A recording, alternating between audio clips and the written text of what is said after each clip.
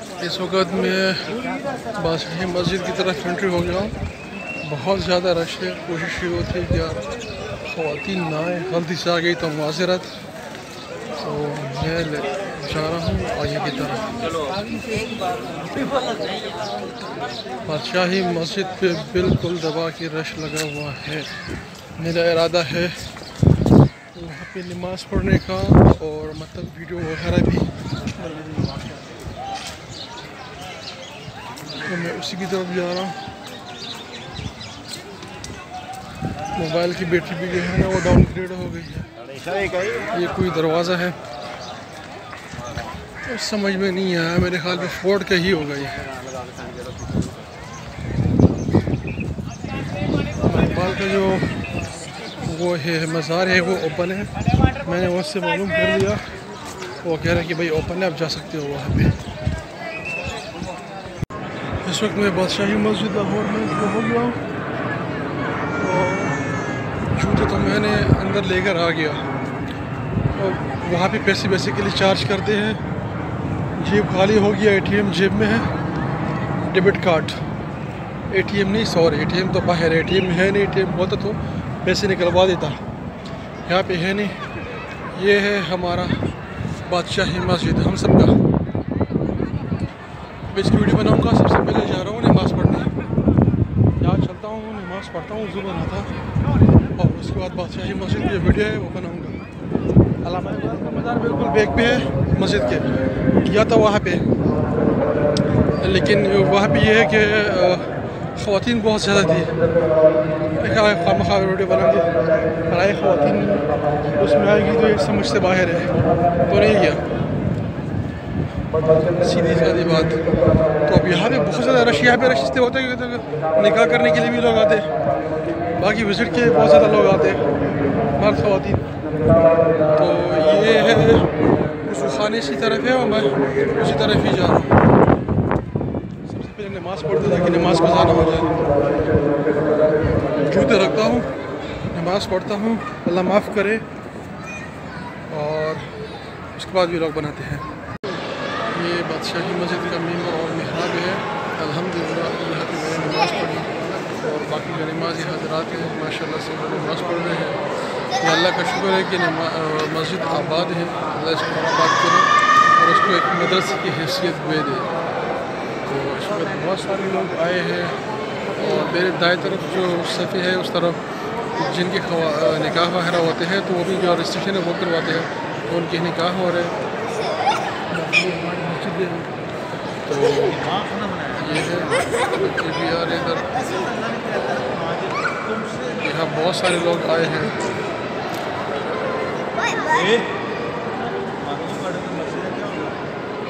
ये हमारा मेंबर और मेहराब, इसको आप देख सकते हैं।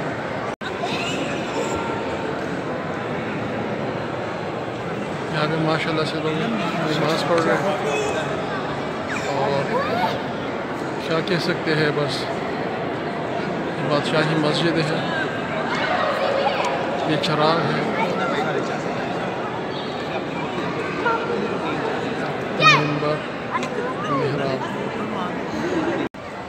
ये मस्जिद का मतलब इसको आप सहन कह सकते हैं, वंदर मस्जिद थी और इसका बहुत बड़ा सहन है। और यहाँ पे बस फैमिलीज़ भी आती है टूरिस्ट भी आते हैं। सारे लोकल टूरिस्ट हैं। ये हमारा बादशाही मस्जिद है। सो देख सकते हैं, ये इसका गुंबद है।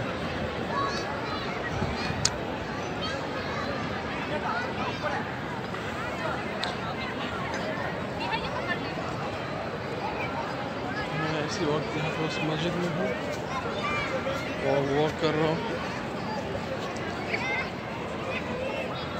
शादी वाले हजरात ज़्यादा इधर आते हैं, उनका रश होता है, जो बिल्कुल मेरे फ्रंट के जो मीनार है, इस गेट से आते हैं ज़्यादातर। जो फ़ूड कोर्ट का फ़ूड स्ट्रीट है, उसका जो गेट है, उसी गेट से जाके यहाँ आते हैं। और वो पहले यहाँ पे मतलब अपनी जो रजिस्ट्रेशन है, वो करवाते हैं। उसके बाद उनको टाइम दिया जाता है, फिर वो अपने मतलूबा टाइम के ऊपर आते हैं। वाशरूम भी है यहाँ पे वज़ू खाना भी है यहाँ पे। हर किस्म के लोग हैं यार यहाँ पे।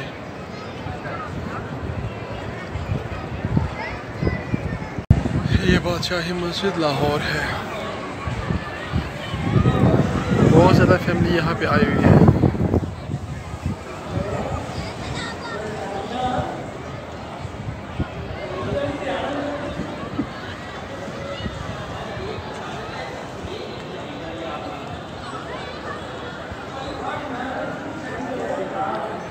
ये मीनारा है इसका मेन जो लगता है उसकी तरफ़। मीनार पाकिस्तान की तरफ़। सामने इनका गुरुद्वारा नज़र है सिखों का। ये इसका मेन गेट है मेन एंट्रेंस है, जो कोर्ट की तरफ़ से इसका एंट्रेंस आ रहा है बेसिकली ये है। इस गेट से जैसे ही आप निकलते हैं तो दाएँ तरफ़ अलामा इकबाल का मज़ार आ जाता है। और बाएँ तरफ़ आप जाओगे तो कोर्ट जिनके जो फोर्ट है, उसकी तरफ़ गली जा रही होती है और एक तर रास्ते जो है उसकी तरफ़ जा रहा होता है। मीनार पाकिस्तान की तरफ़। थोड़ा सा इसका व्यू भी इंजॉय कर लो। बादशाही मस्जिद लाहौर, बहुत मशहूर है। मुसलमानों के अजमत रफ्त की याद दिलाता है। यहाँ पे बहुत ही ज़्यादा मतलब ख़वान वगैरह आ रही होती है। ये भी इसका है भी फोर्ट की तरफ़ है।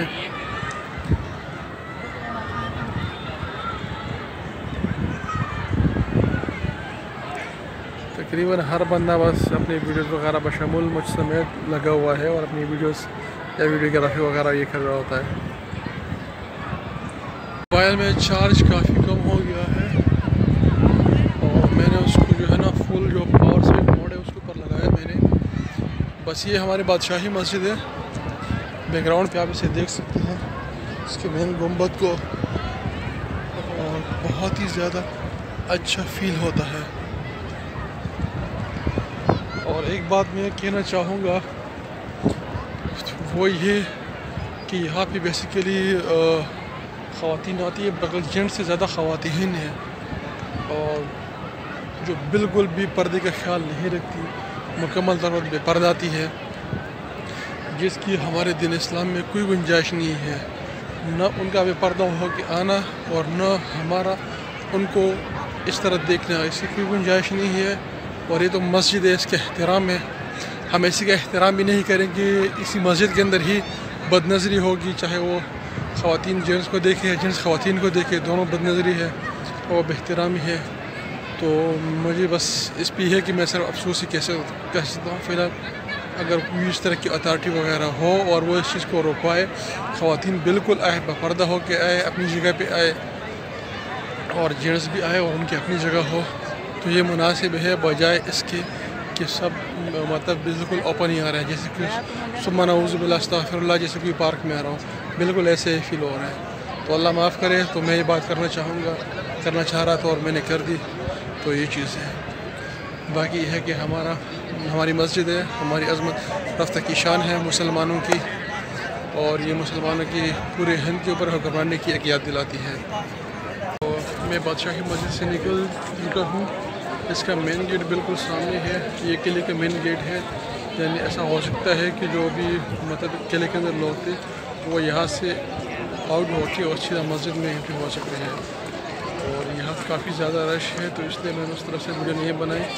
ये ख़वान बहुत ज़्यादा है इस तरफ़ ये है मेन दरवाज़ा। यहाँ से मैं मतलब आउट हो गया हूँ। और यहाँ पे फ़िलहाल ये भी लोग मतलब जो बचा है मस्जिद की। यहाँ पे ख़त्म हो रही है। तो यहाँ से मैं पार्क की तरफ़ कंट्री करूँगा, फिर वहाँ से विज़िट होगा तो पार्क है, इसका वाटरफॉल है आर्टिफिशियल है। कभी कभार कुछ टाइम के लिए लोग इसको ऑन कर देते हैं। और फिर यहाँ पे काफ़ी रश बढ़ जाता है। बहुत सारे लोग बेसिकली यहाँ आए हुए हैं और इसी को कर रहे हैं।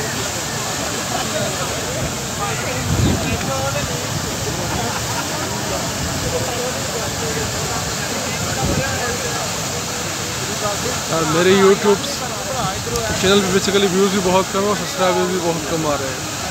तो आपने मेरे यूट्यूब चैनल को जो है ना बिल्कुल वॉच भी करना है और सब्सक्राइब भी करना है और लाइक और शेयर भी करना है।